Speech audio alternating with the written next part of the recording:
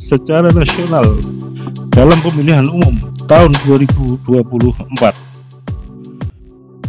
Ketua Komisi Pemilihan Umum, KPU, RI, Hashim Asyari sempat mengeluarkan suara bergetar bak menahan tangis ketika membacakan keputusan KPU tentang penetapan pemilihan presiden dan wakil presiden atau Pilpres 2024.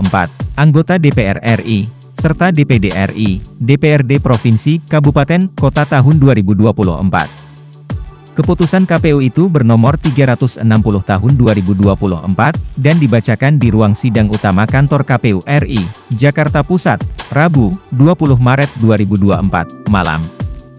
Hashim mengawali pembacaan keputusan KPU tersebut dengan membaca poin pertimbangan bahwa berdasarkan ketentuan pasal 411 ayat 3 U nomor 7 tahun 2017 tentang pemilu, KPU wajib menetapkan secara nasional hasil pemilu. Saat pembacaan itu, suara Hashim mulai bergetar.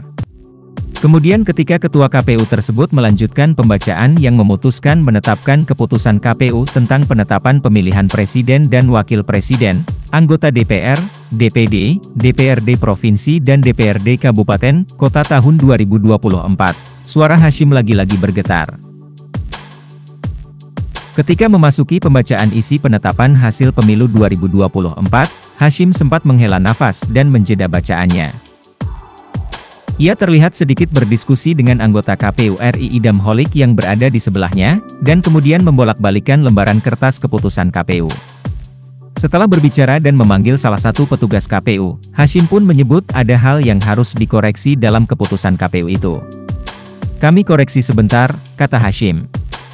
Setelah terjadi diskusi singkat di tengah pembacaan penetapan hasil pemilu 2024, sidang pun diputuskan untuk ditunda sesaat karena perlu ada perbaikan dokumen SK KPU. Mohon izin kita skors dulu untuk memperbaiki dokumen SK karena ini penting. Kita skor sebentar, kata Hashim.